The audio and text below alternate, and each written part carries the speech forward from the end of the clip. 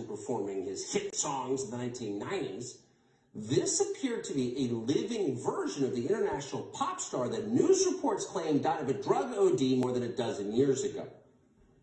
And yet, despite those claims, there he was, fully, undeniably Michael Jackson talking on television. How can that be? Honestly, we have no idea. We're not theologians here. This is merely a news program. We can only show you what we saw. Here it is. There's nothing more important for us to do than protect our Constitution and our democracy. What the Republicans are doing across the country is really a, a legislative continu continuation of what they did on January 6th, which is to undermine our democracy. See? Michael Jackson. That was him. no, Billie Jean apparently has given up singing. Now he's telling lies about politics. Same man. If you've ever seen Michael Jackson, you cannot forget the face. So admittedly, he's had a lot of work done since we saw him last.